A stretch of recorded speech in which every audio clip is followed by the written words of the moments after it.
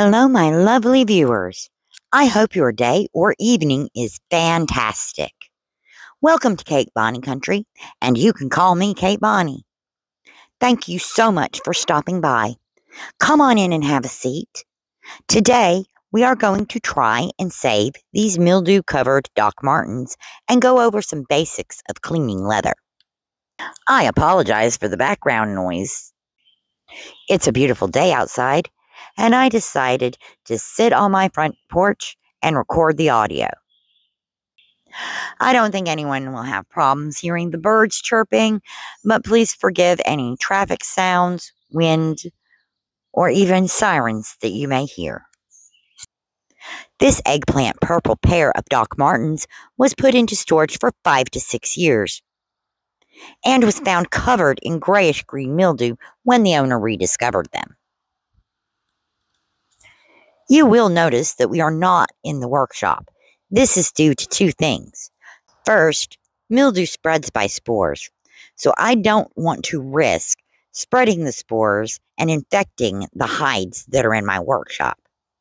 Secondly, one of the best methods for killing mildew is exposure to ultraviolet radiation, which our sun provides plenty of. Never use commercially available mildew cleaners on leather, as that will certainly destroy the leather fibers.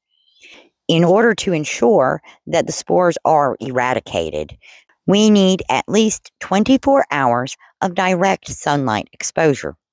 Since the mildew is also inside of the boots, I decided a three day process was called for. On the first day, I placed them on this table near the workshop. I turned them around and removed the laces on the second day. The last day saw them turned back to their original position.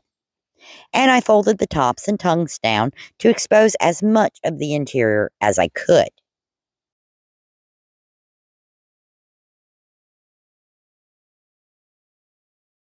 That gets us to here. I didn't think I needed to film me turning the boots around each day. So when all was done, I brought them into the work area of my house right next to the AC unit to clean them. I also failed to film spraying the interior toe area with a shoe disinfectant. Since the interior toe area is lined with fabric and the sunlight cannot reach it, a shoe disinfectant with an antifungal agent must be used to kill any mildew spores and prevent reinfection. I swapped from the handheld camera to the action camera on a chest harness for the rest of this video, since I need both hands to do this bit. And a static camera would not show everything that I want to highlight. The entire cleaning and polishing process took roughly one and a half hours. Watching the whole thing would be incredibly boring, so I'm only including the highlights. The first step in the cleaning process is wiping away all the loose mildew and dirt using a soft, damp cloth. Soak your cloth in distilled water and squeeze out as much of the water as you can. It needs to be damp rather than soaking wet. When cleaning leather, you want to use the least amount of water necessary to do the job. I used a microfiber dishcloth with a scrubber side. There is a slight risk that the scrubber could damage the leather, but I find it necessary to get in to all of the nooks, crannies, and crevices. You can use any soft cloth. A lot of leather crafters and leather care professionals use bits of old cotton t shirts. You know the ones I'm talking about. It seems that just as soon as you've washed that t shirt enough to get it to the perfect level of softness, it starts to wear out. The graphics fade, the stitching breaks, and they start to get holes. Find one of those, cut out the graphics, as most inks contain plastics that can scratch the leather, and cut what is left into working sizes. If using an old t shirt, make sure that it is 100% cotton or other plant fiber material. Synthetic threads like nylon and polyester are plastic and can scratch the leather. Now use that damp cloth to gently wipe all the leather surfaces inside and out. That cloth went directly to my washing machine, but throwing away when you're done is also an option.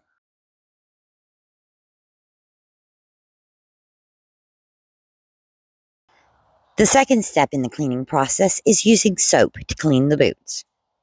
However, the type of soap you use is important. I am using the complicated method.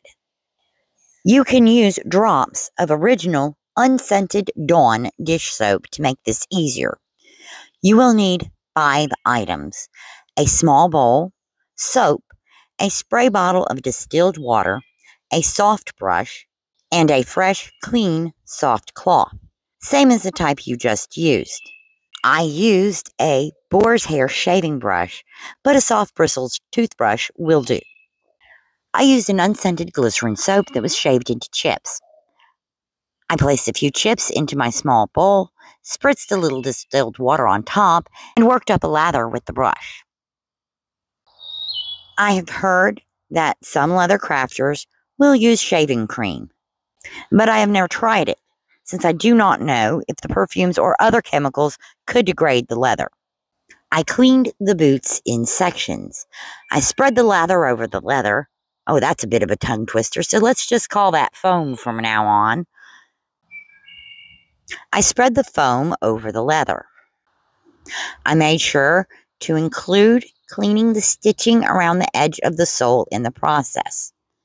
That area of the boot is sometimes referred to as the catwalk. Finally, I wiped the foam off using a fresh, clean, damp cloth. I repeated the foam application and removal over each section. Make sure to press the foam into all the creases and crevices and thoroughly wipe it off. Don't be afraid to clean the same area multiple times if necessary.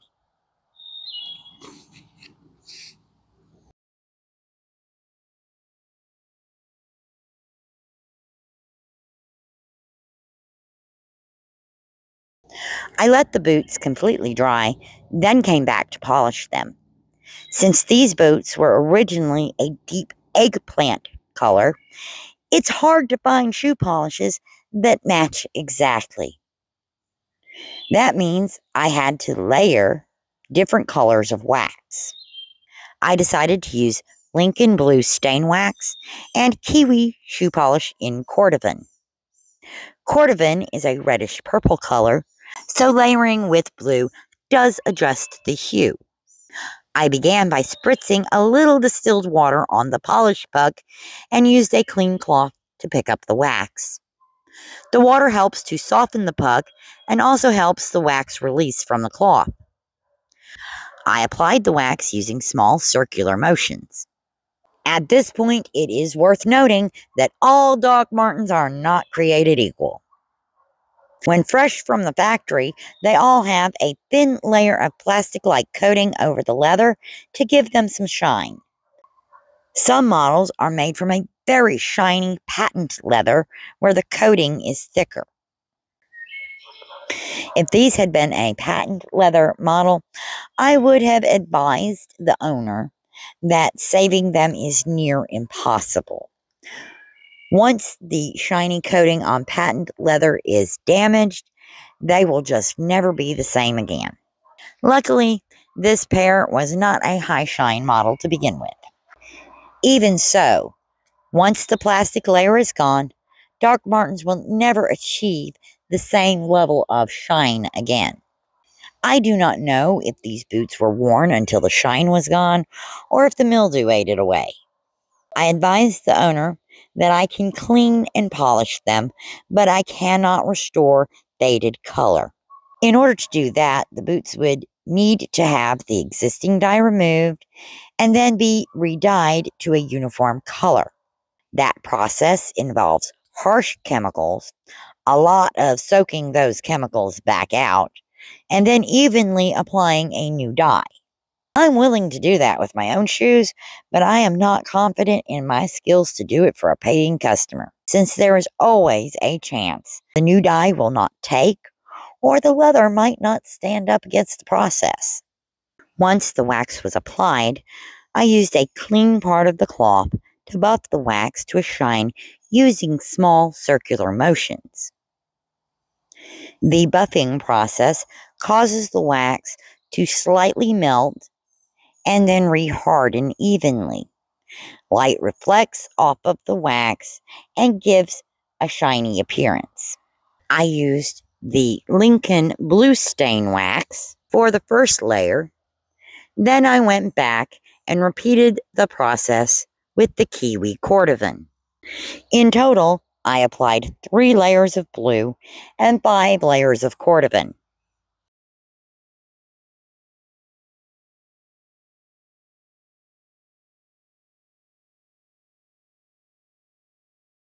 The final step is trying to restore the signature Doc Marten yellow stitching. Since we cannot use harsh cleaners or bleach to remove the dirt, our best bet is to color over them. You can use a yellow colored pencil to color each stitch, and that might be less frustrating, but I decided to go with a yellow crayon. Any crayon wax that got on the rubber part of the catwalk could easily be scraped off with my fingernail. However, I had to be careful not to get crayon on the leather parts of the boots. If I tried to scrape that off with my fingernail, I would also scrape off the polish that I just applied. I have seen people use scotch tape or masking tape to try to protect the boot leather. However, some of the polish may come off with the adhesive when you remove tape. Of course, the crayon broke twice due to the pressure of pushing the crayon wax into the fibers of the stitches, so I was left working with a nub by the time I was finished. As I mentioned earlier, a colored pencil can also be used. With colored pencils, it is less likely for the pencil to break or to get wax on the rubber part of the catwalk or on the leather. However, each stitch must be colored over several times. A colored pencil takes more time than a crayon, but might be less frustrating to work with.